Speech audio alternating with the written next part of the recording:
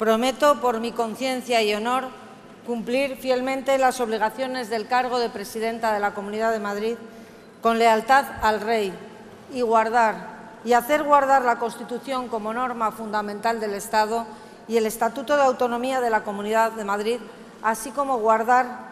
secreto de las deliberaciones del Consejo de Gobierno.